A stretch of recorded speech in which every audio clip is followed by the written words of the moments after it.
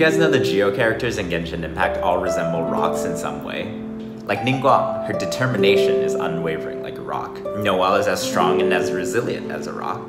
And Arataki Itto is about as smart as a rock.